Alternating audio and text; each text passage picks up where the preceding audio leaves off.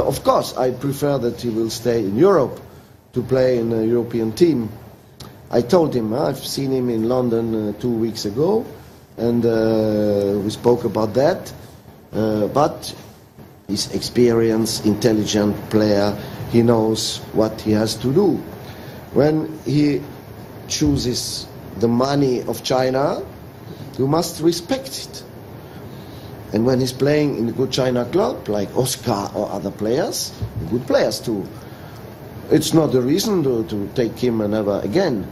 So uh, when he's playing well, he will come.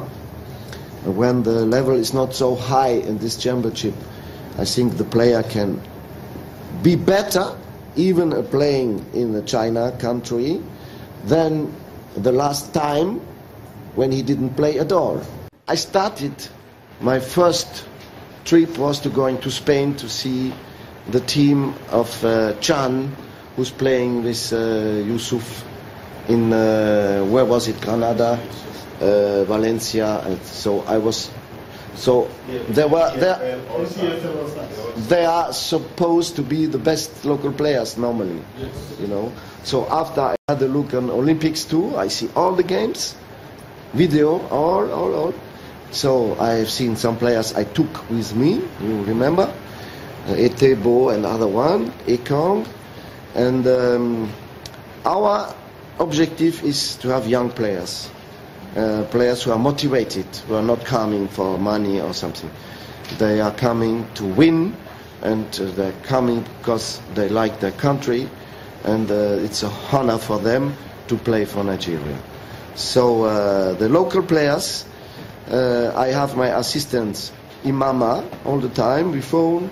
He sent me some messages or, or some videos about the players. He knows all the best players of the country. This is why I'm happy to have him in my uh, staff. Uh, my friend Victor told me when I'm arriving already uh, a lot of things about Nigerian football. So even when I could not see a lot of games, I think my assistants know very well the football. Yusuf is a chief coach, so uh, he knows it very well too. And uh, I listen to them, and together we do it. I cannot be everywhere. The prior priority was in the beginning to see the players who are playing the, the games, the qualifiers. And uh, most of them are in Europe.